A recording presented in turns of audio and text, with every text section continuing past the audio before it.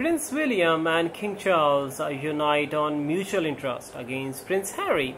Prince Harry appears to have been left out as Prince William and King Charles join forces for a mutual purpose.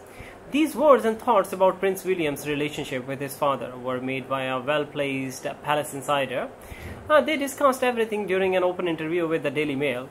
The insider began by invoking previous palace strifes uh, caused by King Charles and asking has His Majesty made mistakes in parenting? Yes. Uh, would he privately concede that he could have uh, done things better or uh, at least differently? Of course.